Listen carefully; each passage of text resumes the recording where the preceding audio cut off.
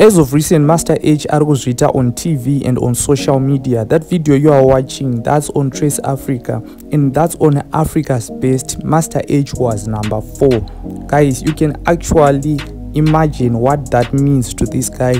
Which means with this guy in the all of Africa, Argos Rita is number 4 on Trace Africa. You know, on that channel, they play a lot of people around Africa.